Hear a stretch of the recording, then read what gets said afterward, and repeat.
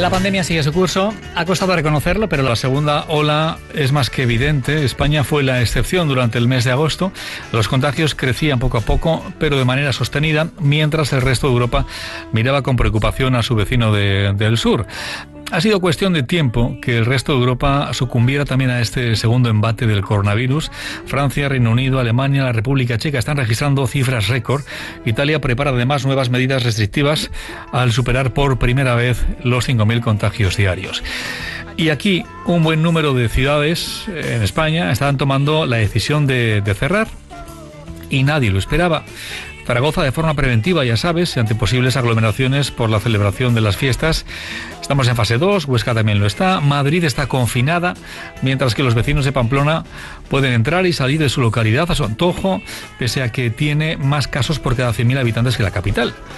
Claro, ¿por qué unos países confinan y otros no? El caso de los centros escolares es muy curioso, fíjate. ¿Por qué países con menor transmisión que España detectan brotes y cierran centros escolares? Es el caso de Francia, mientras que en el país vecino ha identificado 378 brotes activos en sus centros. En España no pasan de ser una anécdota. ¿Están funcionando las medidas o estamos pasando por alto focos de infección? ¿Por qué no se detectan brotes y en Francia hay cientos? ¿Por qué en unos países se cierran centros y en otros no? A estas alturas la pandemia y de la película siguen siendo demasiadas preguntas y pocas respuestas. Mario Castro es profesor del Departamento de Telemática y Computación de Comillas y CAE. ¿Qué tal? Buenos días, profesor. Hola, buenos días. Buenos días. Vamos a ver si nos aclaramos algo, como digo, a estas alturas de la pandemia. Usted profesor, ha participado en un estudio que muestra que los modelos epidemiológicos tradicionales empleados para pronosticar el comportamiento de epidemias no pueden predecir con certeza la evolución de una epidemia ni el pico ni el final mientras la epidemia está teniendo lugar. ¿Es correcto, profesor? Sí, es correcto. Bien, ¿cómo se llega a esta conclusión? Bueno, la verdad que el, el, problema de esto es que las epidemias no es algo que ocurre de una manera eh, determinante, sino que puede ocurrir un foco en cualquier lugar, lo que estaba comentando usted ahora mismo. Por ejemplo, si hay un foco en un colegio y no sabemos nada hasta dentro de dos semanas y los niños de ese colegio contagian a sus familiares y tampoco sabemos nada en dos semanas y a su vez contagian a otras personas, cuando nos queremos dar cuenta, pues tenemos la epidemia encima. Entonces hay un nivel de incertidumbre en la propia dinámica de la epidemia que hace que sea impredecible. Claro, entonces no podemos saber entonces cómo va a evolucionar la epidemia en nuestro país en ningún sitio. podemos comparar esto un poco con el clima. ¿no? Hace 50 años no había manera de, o hace 50, 60 años no había manera de saber si mañana iba a hacer buen tiempo o iba a hacer mal tiempo. Y esto era por tres razones. Uno, porque había pocos datos climatológicos otro porque los modelos eran sencillos y otro porque el clima es, intrínsecamente impredecible. Con las epidemias pasa un poco lo mismo. Los datos son bastante malos, un poco lo que estábamos diciendo. ¿Por qué en Francia parece que hay 300 brotes activos y en España no? Bueno, puede ser porque no haya brotes en colegios o puede ser porque lo que se define como brote es diferente en distintos países. Entonces, realmente los datos son realmente pobres en, el caso de la gestión de la pandemia en España. Otro problema viene con los modelos. Los modelos epidemiológicos son bastante primitivos. Ahora estamos utilizando modelos para predecir la epidemia que son casi modelos de hace 100 años. En cambio, en el clima, desde los últimos 50 años, pues se han mejorado los modelos, no solo los físicos, sino que se ha utilizado inteligencia artificial, eh, computación avanzada, y eso, eh, eso es algo que todavía estamos muy lejos en, el caso de las pandemias. Y luego lo que decía, hay una incertidumbre intrínseca, y es que no sabemos si ahora mismo se está produciendo un brote a 5 metros de nosotros, porque hasta que ese brote de la cara pueden pasar semanas. Entonces estamos bastante incapacitados para predecir. Lo único que podemos hacer es ver tendencias y tratar de, aplacar esas tendencias cuanto antes. Entonces, ¿no son fiables las predicciones que pueden sacarse de los modelos actuales? No son fiables. Ya, le digo que si alguien dice que esto va a acabar el 30 de noviembre o el 15 de diciembre, o está sobreconfiado o está mintiendo porque es que no se puede saber. no tenemos ni la información adecuada porque los datos son malos, ni los modelos adecuados, ni podemos luchar con, con, esa incertidumbre de no saber dónde va a ocurrir el siguiente brote. Claro, en matemáticas, y se lo dice uno de, letras, posiblemente estaré confundido, un sistema caótico es el que sus parámetros muestran comportamientos impredecibles a lo largo del tiempo. Esta pandemia, bueno, está ahí, entonces todas, ¿no? Entiendo que, que, lo es, que lo son. Sí, o sea, el, el problema es un poco ese efecto cascada, ese efecto dominó, la famosa exponencial de la que se hablaba en la primera ola y además los humanos somos bastante malos eh, sintiendo, interiorizando lo que significa una exponencial. Pero si empezamos, por ejemplo, eh, si jugásemos en el casino y, y, doblásemos el dinero a rojo o negro, por ejemplo, y fuésemos ganando, pues después de 30 veces ganando, pensaríamos que teníamos a lo mejor 30 euros o 40 euros, pero lo que en realidad tenemos es 2 elevado a 30 euros. Eso le dejo a los oyentes que echen la cuenta, pero vamos, serían millonarios. Entonces, un poco pasa con la pandemia. Vamos viendo los números en agosto, parecen pocos, bueno, 100, 150, 200, pero no nos damos cuenta de que eso es un efecto dominó y que cada semana que pasa se doblaban, cada semana que pasa se doblaban, y claro, después de ocho semanas, pues no tenemos el doble, sino que tenemos el doble elevado a ocho. esos son números, eh, números inmensos. Pero claro, ¿qué es, ¿qué es lo que se sabe? Creo que no se sabe más de lo que se sabe. Mm. Me, explico, porque, por ejemplo, con todo lo dicho, estamos viendo que hay eh, política al margen. ¿eh? Estamos viendo que hay lugares, que hay regiones, que hay comunidades que están confinadas y otras no lo están.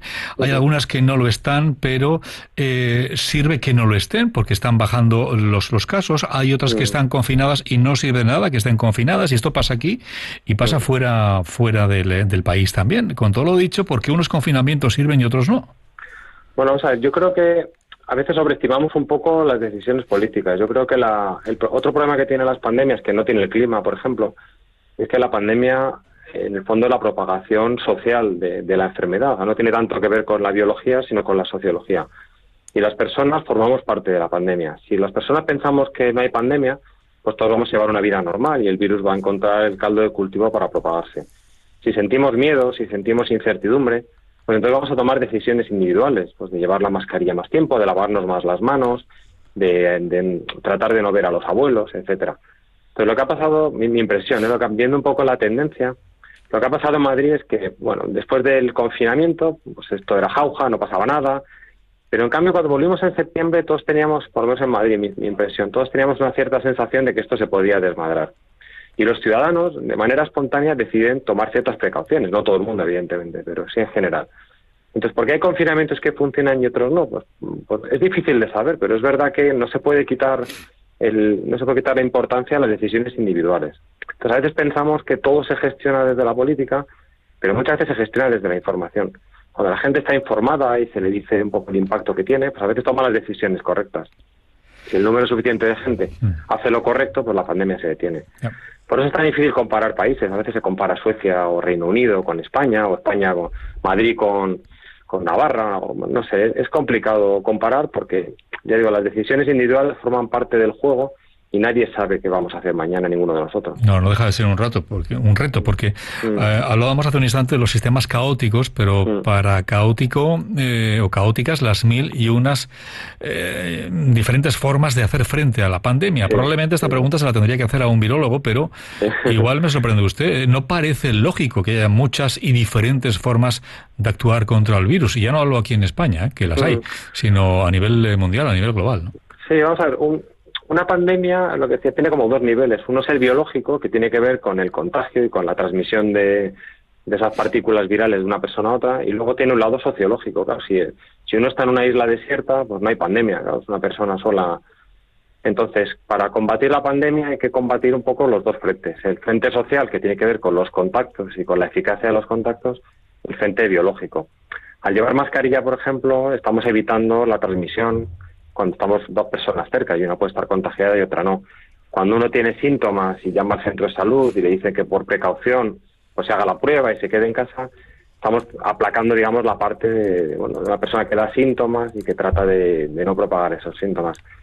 Entonces, ¿qué se puede hacer? Pues es complicado. Yo no soy no soy experto en eso, pero está claro que tenemos que atracar atacar un poco esas dos esas dos fuentes, ¿no? Reducir los contactos sociales y que cada contacto sea menos eficaz si hago mascarilla, si, eh, si, si, estamos con una persona que está infectada, mm. pero no estamos mucho tiempo con esa persona, si los damos mascarilla, si a pesar de que esa persona a lo mejor ha, tosido o ha estornudado y parte del aire ha tocado nuestras manos, pero luego nosotros nos lavamos las manos antes de tocarnos la cara, por ejemplo, o si ventilamos, bueno, pues el número de contactos a lo mejor entre personas sigue siendo alto, pero la eficacia de cada contacto pues es baja. No, y además ahora ya sabe que ese estudio australiano dice, revela, o bueno, viene a, aclarar que, que, este virus, que este coronavirus permanece mucho más tiempo que cualquier otro virus en superficies lisas, etcétera, etcétera. bueno, cada día nos desayunamos con una noticia de este, de este tipo. Entonces, claro, eh, la última cuestión, ¿qué sabemos entonces de la evolución de la pandemia, profesor? ¿O no sabemos nada de nada? Hombre, vamos a ver. Eh, los modelos, cuando decimos que los modelos no te permiten predecir, lo que queremos decir es que no permite predecir a largo plazo, pero sí que a corto plazo uno puede ver tendencias. Ahora mismo la, tendencia, por ejemplo, en Madrid es razonablemente buena. El problema es que hay un retraso siempre entre los contagios y las hospitalizaciones, y entre las hospitalizaciones y las UCIs y los fallecimientos. Pero a veces no vale, no vale solo con doblar la curva, hay que hacerlo cuanto antes, porque luego eso tiene un impacto en vidas humanas. Entonces ahora mismo la tendencia en Madrid es buena.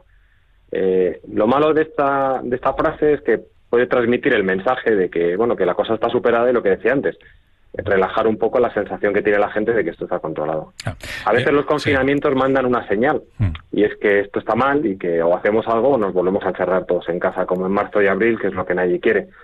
Y a veces ese efecto llamada pues, es, más beneficioso que la eficacia real de, del confinamiento. Y una última cuestión que igual, insisto, ¿eh? se debería hacer a un, eh, virólogo. Ahora los expertos dicen que el coronavirus no es una pandemia, es una sindemia.